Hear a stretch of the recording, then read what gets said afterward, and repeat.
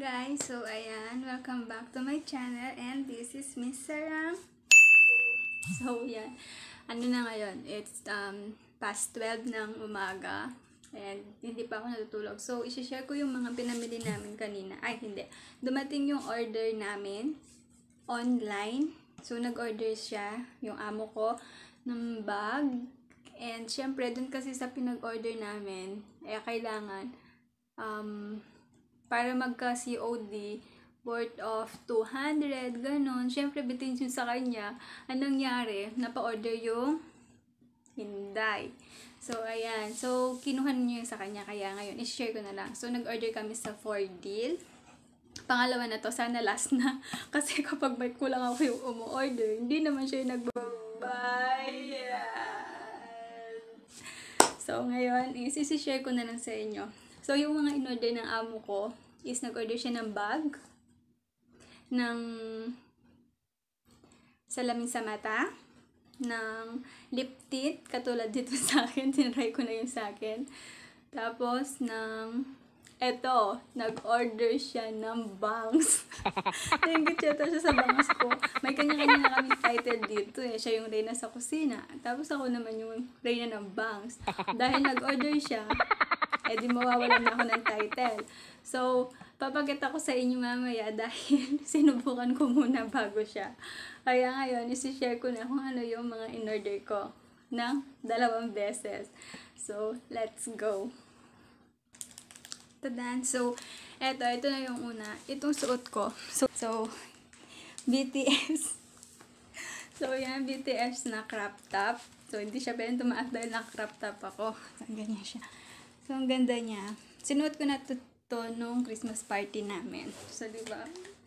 So, yan. Eto. Tadan! yung mga walang kaano-ano lang nag-order ako bigla-bigla. O, yan, kunin mo na yan. O, parang naman siya yung magbabayad. So, mahilig ako sa mga ganito. Yan. Kasi dito mainit. Kapag naka-uniform ka, tapos ano lang yung suot mo, tapos malinaw yung damit, kailangan magdoble ka pa kasi malinaw. So, kailangan, ba So, bumali ako ng mga ganito. Marami akong ganito. Tsaka, yung ano kasi wala naman masyadong kakapitan. Walang kakapitan. So, maganda naman sila. Ayun siya. Mga, ah, ano ba tawag dito? Ewan ko. Basta, mga ganyan-ganyan. Ayan. Di ba? Cute. Pero mga ano lang to, syempre kuripot ako ng tao. Pagdating sa sarili ko, kuripot ako. So, mga 15 to 20 real lang yung mga orders ko. Depende lang. Yung mga, pero ito, 34 yata. So, nakalimutan ko na 34 yung damit. So, next, ito pa. Hindi man talaga ako sana o-order eh, pero kasi yung amo ko umorder siya. So, kailangan yung balance para maka-COD. Yes, mag-order din ako. Eh, syempre, ako naman, naki-add to cart na din ako.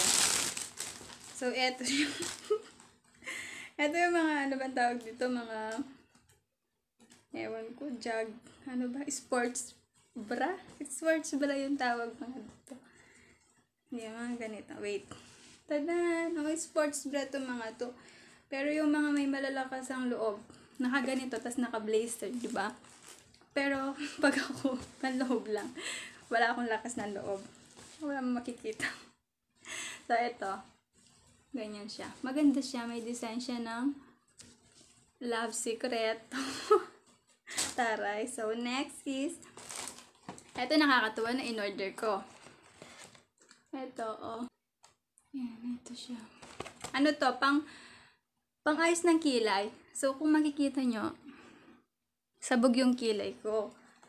Pero hindi ko siya nagginaga, hindi ko pa siya gagamitin kasi natatakot ako. Kasi yung pinapakilay-kilay ko lang to kapag nakakauwi ako ng Pinas. Pero ngayon, hindi ko pa siya ginamit. Ganito siya. Kahit may instruction siya. Pero nakakatakot kasi pakialaman yung kilay ko. Baka magmukha ako lalo matari. O, ba diba? Sabog yung kilay ko. Ito siya. Ganito siya. Ganda siya. Ay, wow, vlogger. Ayan, ganyan siya. Di ba? Maganda siya. Pero wala pa akong lakas na loob na gamitin. Pero minsan i-review natin kung maganda. Mga ano to. Um, ewan ko.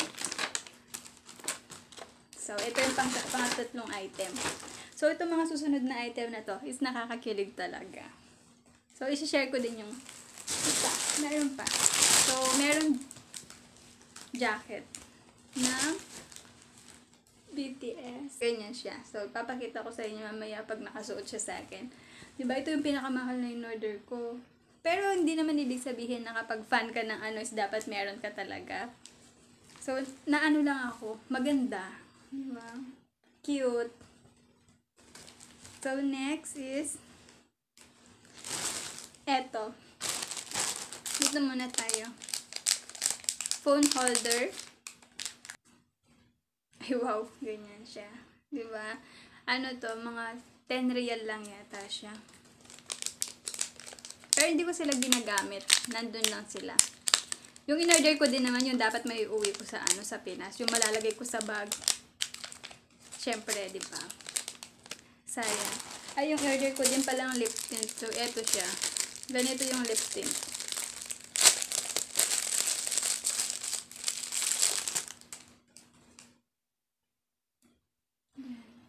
Di ba?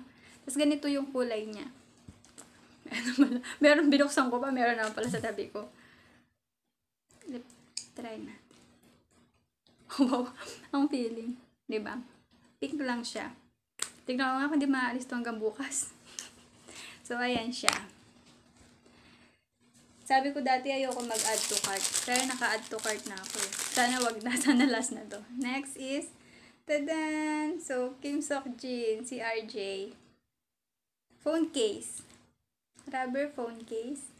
Diba? Mga 10, ano lang to yata? Or 12 real. Mga ganun. Basta mura lang sila. Cheap price.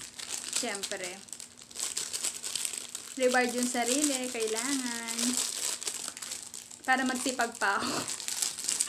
tamad tamad tamad mo. Diba? Next is, bumili ako pero hindi ko sila ginagamit. Tada! Si Kim Sok Jin, si RJ. Lumabas yung noo ko. Madali nga. Yan. Lumabas yung noo ko. Yan, sa ganyan na. Yan. Oh, ang cute. Hmm. Diba? Si RJ. So, meron pang, ilan lang to, konti lang talaga.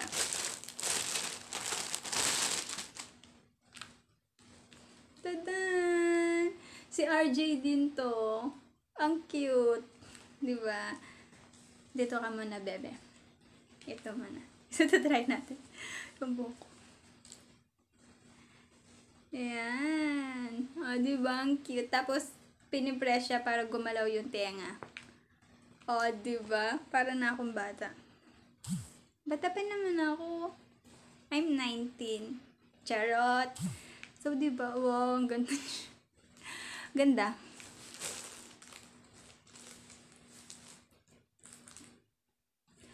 Di ba? Ang feeling. ang cute. Ano ba naman yung noo ko? Nagsashine bright like a diamond. Dali nga. Yan. Diyan ka muna. So, di ba? Ano to? 34. Hmm, 34 real. Pero, worth it. Kasi maganda siya. Tago muna natin. Baka, baka ano, mali ka bukan. Dito ka muna. So, the last is, sobrang ang cute-cute nito talaga. Sobra, sobra, sobra, sobrang cute. Oh, ngayon ko pa siya bubuksan para sa inyo. Oh, okay. Wag na yata eh.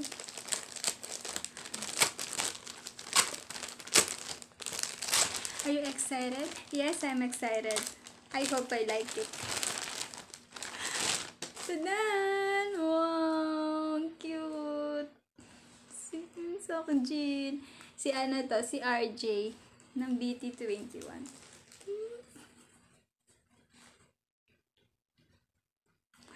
Ang cute. Dali. Picture.